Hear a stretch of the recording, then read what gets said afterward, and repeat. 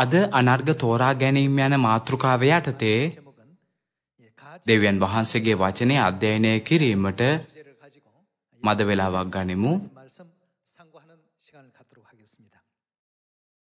පුද්ගලයෙකු විසින් ගන්නා ක්‍රියාමාර්ග හා ඔහු ජීවත් වන ආකාරයේ දෙස බැලීමෙන් එම පුද්ගලයා අගයන්නේ මොන වගේ දේවල්ද කියා අපට දැනගන්න පුළුවන්.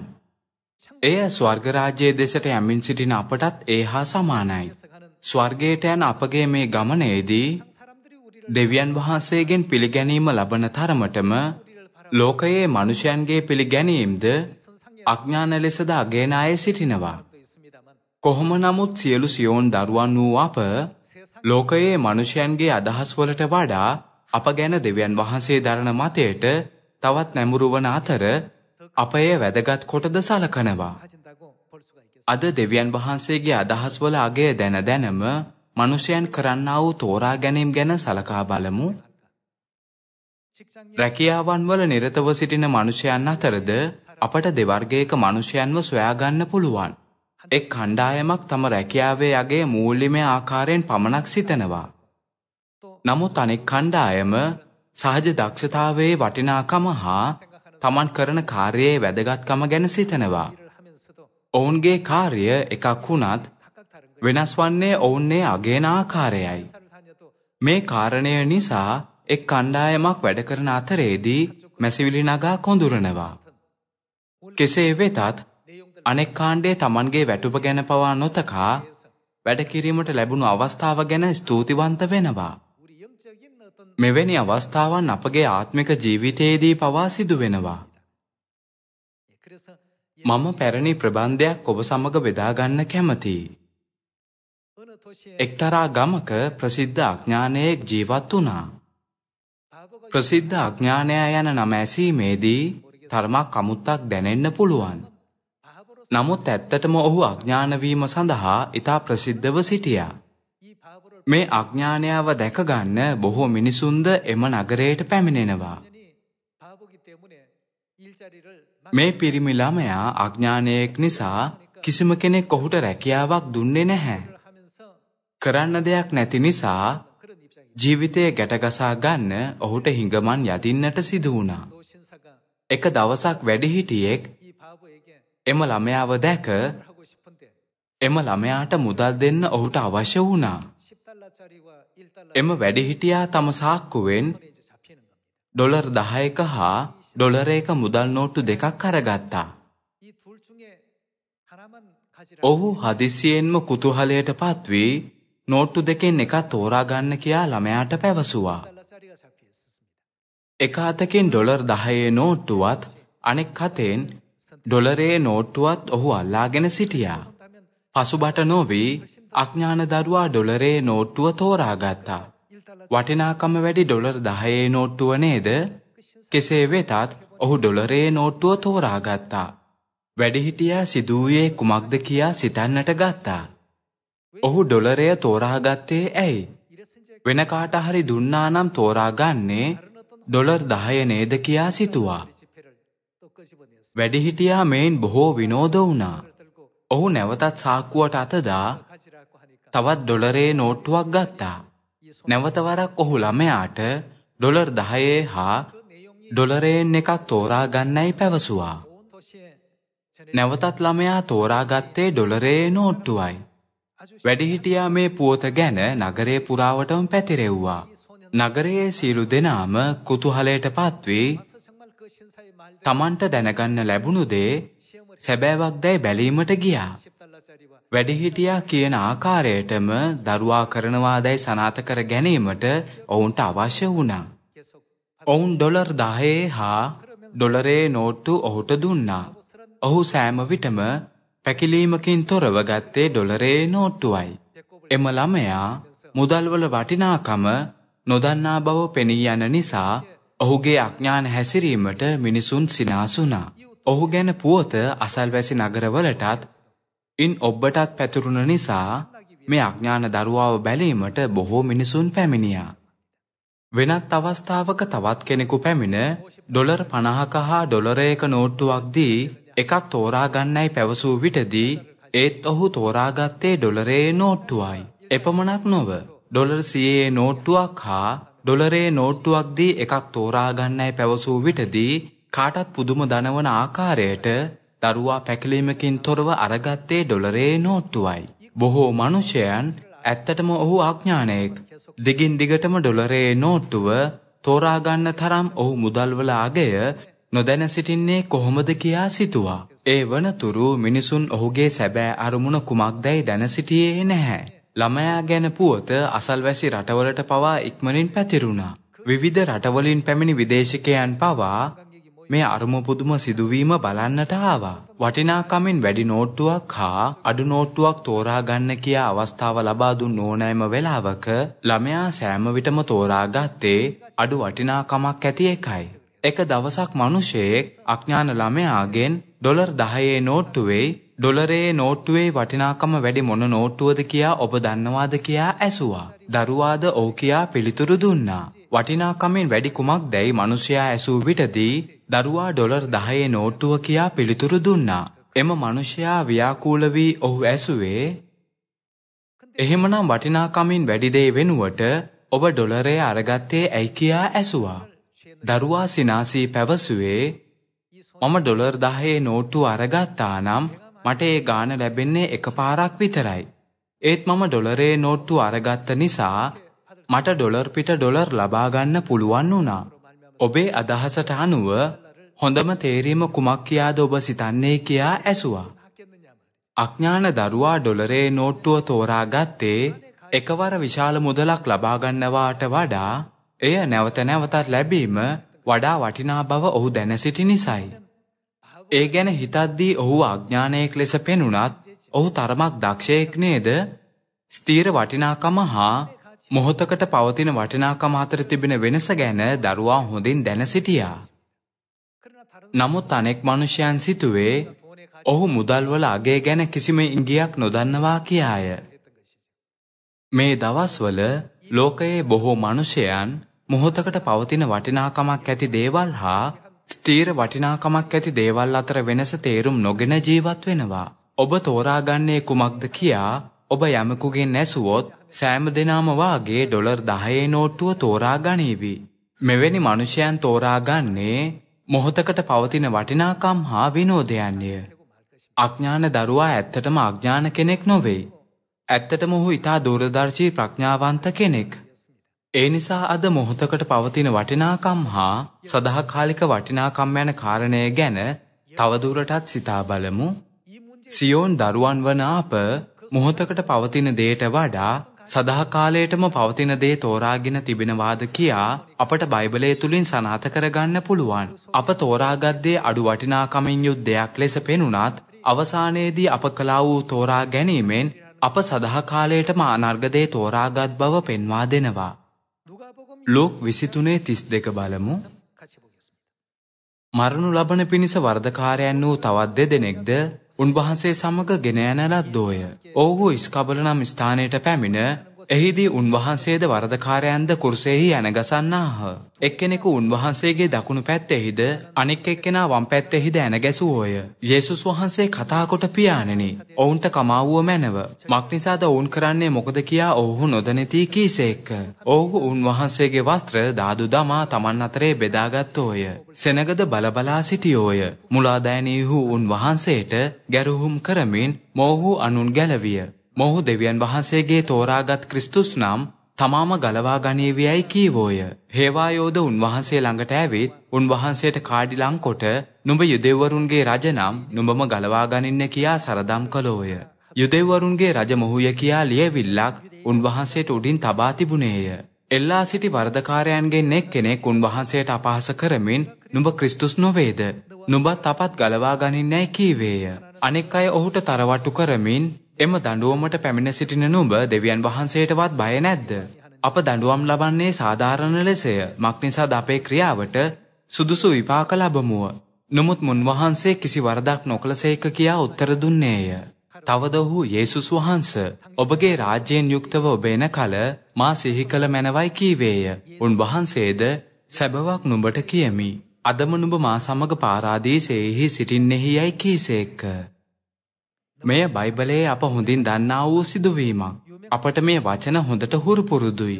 යේසුස් වහන්සේව කුරුසපත් කළේ තවත් සොරුන් දෙදෙනෙකු සමගයි.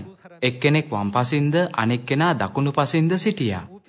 සොරුන් දෙදෙනාව සසඳා බලද්දී වටිනාකම ගැන තේරුම් ගත්තේ කොයි සොරාද කියා අපට සනාථ කරගන්න පුළුවන්. මොහොතක් ගැන පමණක් සිතූ වම්පසින් සිටි සොරාට සිදුවූයේ කුමක්ද ඔහු යේසුස් වහන්සේට අපහාස කළා. ඔහු එසේ කළේ ක්‍රිස්තුස් වහන්සේට අපහාස කළායව ඔහුට යේසුස් වහන්සේට වඩා විශාලව බලවත්ව පෙනුන නිසයි. වම්පසින් සිටි සොරා ක්‍රිස්තුස් වහන්සේට අපහාස කරන අයගේ කැමැත්ත ලබා ගැනීමට ඔවුන්ගේ පැත්තට එකතු වුණා. දඬුවම ලිහිල් වනවා වැනි යම්කිසි සුවිශේෂී වරප්‍රසාදයක් ලැබේවි යන ව්‍යාජ බලාපොරොත්තුවක් ඇති කරගෙන නුඹ ක්‍රිස්තුස් නොවේද? නුඹත් අපත් ගලවා ගන්න කියා පවසමින් ඔහු යේසුස් වහන්සේට අපහාස කළා. ක්‍රිස්තුස් වහන්සේට අපහාස කළා වූ මිනිසයන් හා හේවායින් වෙනුවෙන් ඔහු ප්‍රකාශකයෙකුගේ භූමිකාව ඉටු කළා. ඔහු සිතුවේ ඒ මොහොත ගැන පමණයි. යේසුස් වහන්සේට අපහාස කළොත් ඔහුගේ දඬුවම ලිහිල් වේවි කියා ඔහු සිතුවා. ඒ නිසා ඒ මොහොතේදී බලය තිබෙනවා කියා පෙනුන පැත්ත ඔහු අරගත්තා. කොහොම නමුත් යේසුස් වහන්සේ වෙනුවෙන් කිසිවෙකුත් පෙනී සිටීමට අකමැති වූ මොහොතක දකුණු පස සිටි සොරා සදාහකාලිකත්වයේ දෙස අවධානය යොමු කළා. අන් අයගේ සරදමට හා අවමානයට ලක්වන අවස්ථාවක් වුවත් ඔහු ඒ මොහොතට වඩා සදාහකාලිකත්වයේ අගය කළ නිසා අනෙක් සොරාට බැනවැදුනා. ඔහු පැවසුවේ අප දඬුවම් ලබන්නේ සාධාරණ ලෙසය. මක්නිසාද අපේ ක්‍රියාවට සුදුසු විපාක අප ලබමුව. නොමුත් මුන් වහන්සේ කිසි වරදක් නොකළසේක. යේසුස් වහන්ස ඔබගේ රාජ්‍යයෙන් යුක්තව ඔබ එන කල මා සිහි කළ මැනවී කියාය. යේසුස් වහන්සේද සැබවක් නුඹට කියමි. අදම නුඹ මා සමග පාරාදීසයෙහි සිටින්නෙහිය කියා ඔහුට පැවසුවා. වම්පසින් සිටි සොරාසිතුවේ යේසුස් වහන්සේ වෙනුවෙන් පෙනී සිටියොත් තමන්ට තවත් විඳවන්ට සිදුවේවි කියාය. ඒ නිසා ඔහු විශාල පිරිසගේ පැත්ත ගත්තා. ඔහු අපේක්ෂා කළ දේ ඔහුට ලබා ගැනීමට නොහැකි වූවා පමණක් නොව ඔහු නොදැනුවත්වම නිරේ විශාල දඬුවමද තෝරා ගත්තා. කොහොම නමුත් දකුණු පැත්තේ සිටි සොරා වෙනස් ආකාරයකට සිතුවා. යේසුස් වහන්ස ඔබගේ රාජ්‍යයෙන් යුක්තව ඔබ එන කල මා සිහි කළ මැනවී කියා ඔහු පැවසුවා. මොහොතකට ඔහුට විශාල පාඩුවක් සිදු වුණත් ඔහු නිවැරදි තෝරා ගැනීම සිදු කළා. සියල්ලෙනි මේ සොරුන් දෙදෙනාගෙන් අපට ඉගෙන ගැනීමට ඇති පාඩම් බොහොමයක් තිබෙනවා. මේ දිනවල ලෝකයේ බොහෝ මනුෂ්‍යයන් බයිබලයේ සාක්ෂි දරා ඇති සබත හා පාස්කුවේ සත්‍ය දැනගෙන සිටිනවා. තවමත් බොහෝ දෙනා නිවැරදි තෝරා ගැනීම සිදු නොකර සිටිනවා. ඔවුන් සිතන්නේ මම මේ ඉගැන්වීම් තෝරාගත්තොත් මිනිසුන් මට අමුතු සභාවක කෙනෙක් කියා පවසාවි කියාය. මේ අය අගේ කරන්නේ වර්තමාන මොහොත පමණයි. අද මෙහි රැස්වී සිටින අප සියලු දෙනාම සදාකාලිකත්වයේ වටිනාකම ගැන සිතා බැලිය යුතුයි. සහෝදර සහෝදරියනි, අප දැන් ගමන් කරන මාර්ගයේ වටිනාකම ගැන අප දැනගත යුතුයි. එය සැබවින්ම මිල කළ නොහැකි. අපගේ ඇදහිල්ලේ ජීවිතය දයාන්විතව ගත කරන පිණිස අප සත්‍යයේ වටිනාකම එනම් ස්වර්ගරාජ්‍යයේ වටිනාකමද දෙවියන් වහන්සේගේ වටිනාකම හා දෙවියන් වහන්සේගේ දරුවෙකු වීමේ වටිනාකමද අප නිවැරදිව තේරුම් ගත යුතුයි. කිසිම වටිනාකමක් නැහැ කියා සිතූ ගලක් තිබුණා කියා සිතමු. නමුත් ඒ ගල ඇත්තටම වටිනා වූ දියමන්තියක් වී එහි වටිනාකම දැන සිටියේ ඔබ පමණක් නම් කිසිසේත් ඒ සොරකම් නොවන හැටියට එය ආරක්ෂා කර ගැනීමට සෑම උත්සාහයක්ම දරනවා නේද? ඔබ තබාගෙන සිටින දියමන්තියේ වටිනාකම දන්නවා නම් ඔබට මුහුණ පාන්න සිදුවන ඕනෑම දුෂ්කරතාවයක් ඔබ විඳ දරා ගන්නවා. කිලෝමීටර් කිහිපයක් සතුටින් ඇවිද යන්න පවා පුළුවන් වෙනවා. ඇදහිලි වන්තයන් අතරින් යම් කෙනෙක්ට ඇදහිල්ල තිබෙනවාද නැද්ද කියා අප කියන්නේ කොහොමද? විශ්වාසනීය අය වන්නේ සදාකාලිකත්වයේ වටිනාකම දන්නා අයයි. දෙවියන් වහන්සේව විශ්වාස කරන, নমස්කාර කරන අය අතරින් සදාකාලිකත්වයේ වටිනාකම නොදන්නා අය සෑම විටම සැලකෙන්නේ ඇදහිල්ල නොමැති අය ලෙසයි. මාමය කල යුත්තේ ඇයි? මම මේ මාර්ගයේ ගමන් කළ යුත්තේ ඇයි? මම සබත් දවස පවත්වන්නේ ඇයි? දෙවියන් වහන්සේව নমස්කාර කරද්දී මම හිස්වැස්මක් දාන්නේ ඇයි කියා ඔවුන් සිතනවා. සදාකාලික වටිනාකමක් ඇති නිසා මේ මොහොතේදී අප ඇදහිල්ලේ මාර්ගයේ ගමන් කරන්නේ සදාකාලික උරුමයක් ලෙස දෙවියන් වහන්සේ අපට කුමක් සූදානම් කර ඇද්ද කියා සිතමින් නේද? නමුත් වටිනාකම ගැන සංකල්පයක් නොමැති පුද්ගලයෙක් කිසිදාක කිලෝග්‍රෑම් 10ක හෝ 20ක දියමන්තියක් උසුලාගෙන කිලෝමීටරයක්වත් ඇවිද යන්නේ නැහැ. මෙම පුද්ගලයා ඒ විශාල බරක් ලෙස දකින නිසා බොහෝ සමාවට කරුණු පවසමින් මැසිවිලි නගා කොඳුරනවා. කෙසේ නමුත් දියමන්තියක් ලෙස එහි වටිනාකම දැන සිටින පුද්ගලයාට එහි බර කිලෝග්‍රෑම් 20ක් වුවත් හදපිරි සතුටින් ගමන් කරන්න පුළුවන් වෙනවා. ඒ එම පුද්ගලයා එහි අගය දන්නා නිසායි. සියල්ලෙනි ලෝක 23 සඳහන් වූ යේසුස් වහන්සේගේ දකුණු පසින් සිටි සොරා සමගත් සමානයි. අපරාධකරුවන්ගෙන් කෙනෙක් යේසුස් වහන්සේ වෙනුවෙන් පෙනී සිටියොත් තමන්ට තවත් විඳවන්න සිදු වේවියයි සිතා යේසුස් ක්‍රිස්තුස් වහන්සේට අපහාස කරන පිරිසට එකතු වුණා. නමුත් අනෙක් අපරාධකරුවා යේසුස් වහන්සේ ඇත්තටම කොයිතරම් වටිනවාදයි හඳුනාගත්තා. හිරිහැරයට, සමච්චලයට හා අවමානයට ලක්ව සිටියේදීත් ඒ මොහොතේදී පවා ඒ සොරා යේසුස් ක්‍රිස්තුස් වහන්සේ කොයිතරම් වටිනවද කියා තේරුම් ගනිමින් යේසුස් වහන්සේ ඔබගේ රාජ්‍යයෙන් යුක්තව ඔබ එන කල මා සිහි කළ මැනවි. ඔබේ සදාකාල රාජ්‍යයට මාද රැගෙන යනු මැනවි කියා පැවසුවා. බයිබලයේ පොත් 66 අතරින් වඩාත්ම වාසනාවන්ත පුද්ගලයා වන්නේ ඔහුයි. ඔහු මේ වාසනාවන්ත ඇදහිල්ලේ වචන කතා කළේ යේසුස් වහන්සේ කොයිතරම් වටිනවාද කියා තේරුම් අරගෙනයි. මුල් සභාවේ ශුද්ධවන්තයන්ව මිනිස් ඉටිපන්දම්මෙන් පණ පිටින් පිලිසූ අතර රංගමඩලේදී සිංහයන්ටද කන්ට දැම්මා. ඔවුන් මනුෂ්‍යයන්ගේ වෛරයට විවිධ වූ පරීක්ෂාවන් හා පීඩාවන්ට පත් වුණත් අවසානයේ දක්වාම තම ඇදහිල්ල පවත්වාගෙන ගියා. ස්වර්ග රාජ්‍යයේ වටිනාකම හා දෙවියන් වහන්සේ කෙරෙහි ඇති ඇදහිල්ලේ වටිනාකම තේරුම්ගත් ඔවුන්ගේ ප්‍රතිඵලය මෙයයි. සමහරුන් ශුද්ධවන්තයන් ගැන ඔවුන් දෙවියන් වහන්සේව එලෙස විශ්වාස කරන්නේ ඇයි කියා පුදුම වෙනවා ඇති. අප නම් ශුද්ධවන්තයන්ගේ මනස තේරුම්ගෙන සිටිනවා නේද? ඔවුන්ගේ සිත් ප්‍රීතියෙන් හා සතුටින් පිරී තිබුණා. මරන්ට ගෙන යන බැටළුවන් මෙන් සැලකුම් ලැබුවත් ඔවුන් දිනෙන් දින ප්‍රීති වුණා.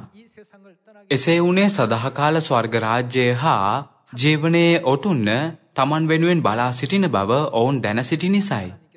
ස්වර්ගීය දේවදූතයන් සියලු දෙනා මේ සියල්ල සූදානම් කරන බවත් දෙවියන් වහන්සේ තමන්ව උණුසුම්ම පිළිගැනීමට බලා සිටින බවත් ඔවුන් විශ්වාස කළා. පීඩාවටත් දුර්භික්ෂයටත් උපද්‍රවයටත් කඩුවටත් ඔවුන්ට කවදාවත් අපට කළ නොහැක්කේ කුමක්ද?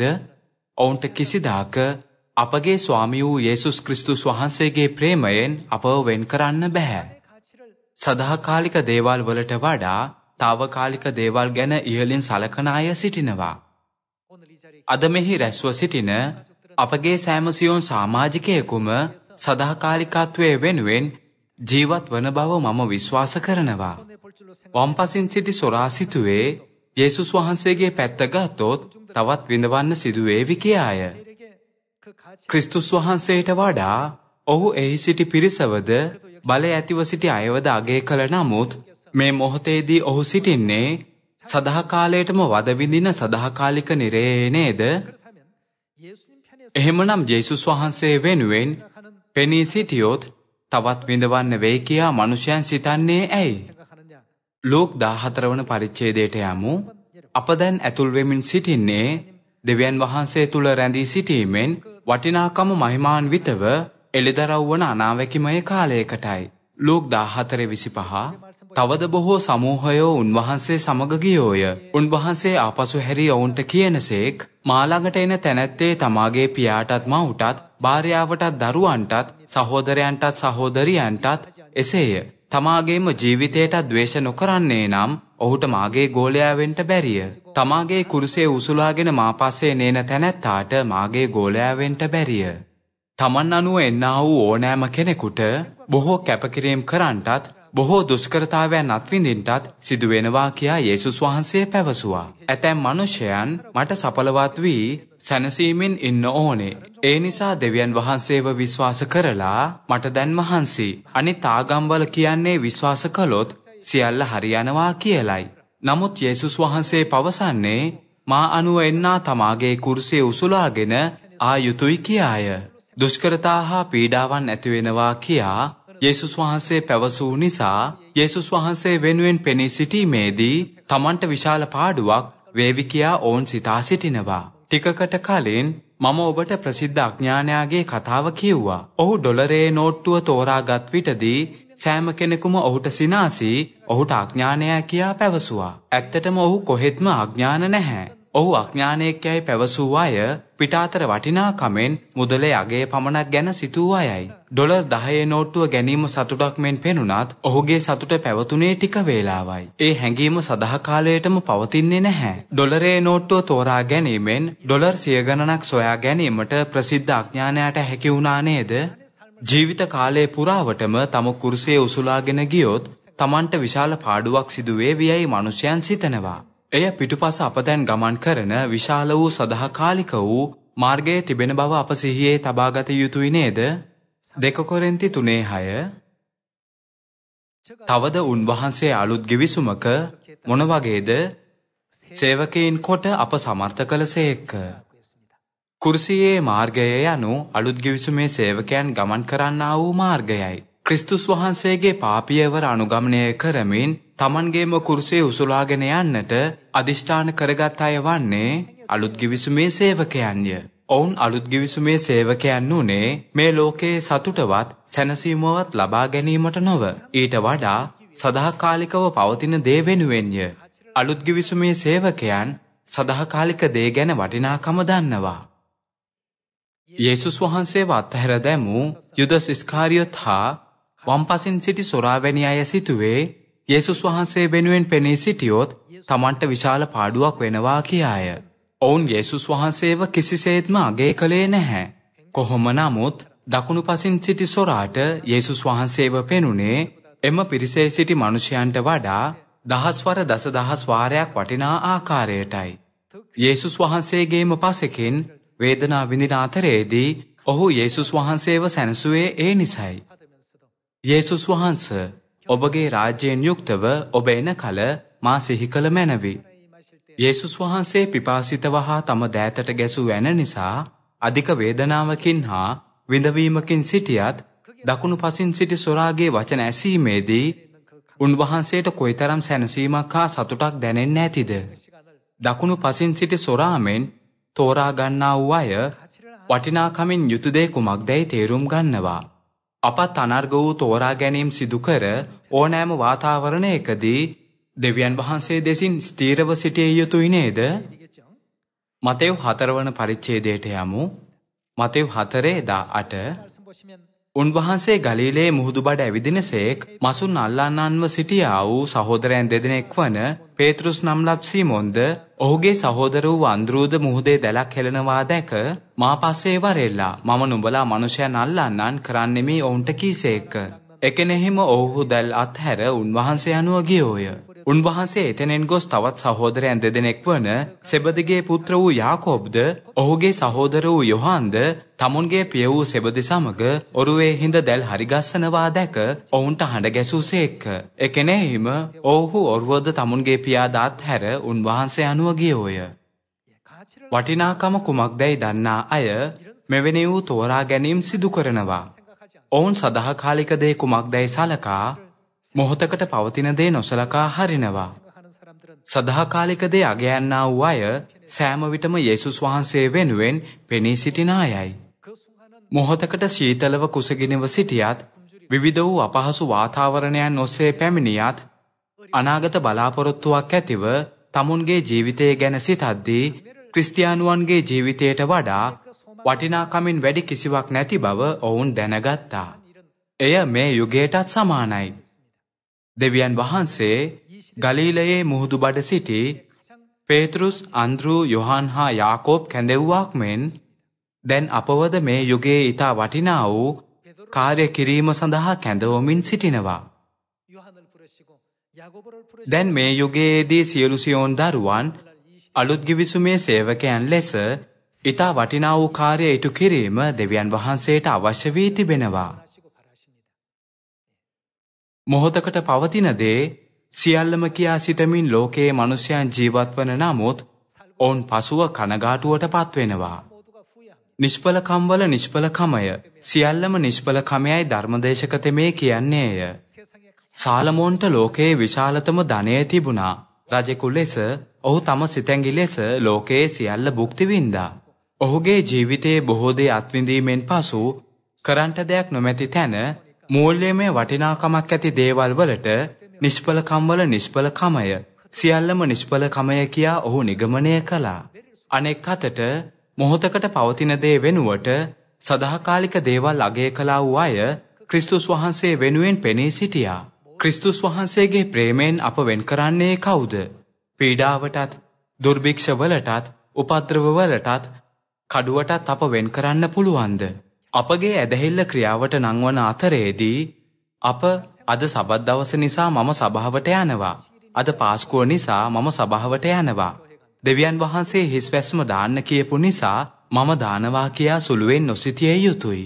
මෙලෙස සිතනවා වෙනුවට අපගේ කුඩා ක්‍රියාවන් හා විශ්වාසවන්ත තෝරා ගැනීම මොනවාද කියාත් එනම් සබතකට පසු සබත් පැවැත්වීමෙන් මෙවැනි අවසානයක් පැමිණෙනවා කියාත් අප තේරුම් ගත යුතුයි. දෙවියන් වහන්සේ අපට ආශිර්වාද පොරොන්දු වුණා. තවද දෙවියන් වහන්සේගේ ආශිර්වාදවල වටිනාකම සුළුපටු දෙයක් නොවේ. නගරාධිපතිවරයෙකුගෙන් ආණ්ඩුකාරවරයෙකුගෙන් හා ජනාධිපතිවරයෙකුගෙන් ලැබුණු සම්මාන සැසඳුවොත් ඒ හැම එකකටම තිබෙන්නේ එකම වටිනාකමක්ද කොහෙත්ම නැහැ. මුළු විශ්වයේ රජුන්ගෙත් රජ වූ දෙවියන් වහන්සේගෙන් ත්‍යාග්‍ය ලැබීමට වීරය කරන්නයි මා සියලු දෙනාගෙන්ම ඉල්ලා සිටිනවා. ප්‍රීතියෙන් පිරුණු ස්තුති සිතින් සුභාරංචි මාර්ගයේ එනම් අනර්ග වූ සබත් දින මාර්ගයේද අලුත් ගිවිසුමේ හා ස්වර්ගයට ඇති මාර්ගයේ ඇවිද යමු. අප සියලු දෙනා අනර්ග තෝරා ගැනීම සිදු කරන ප්‍රධාන චරිතයන් වේවි කියා පතමින් අද දේශනාව අවසන් කරන්න කැමැති. ඔබට බොහොම ස්තුතියි.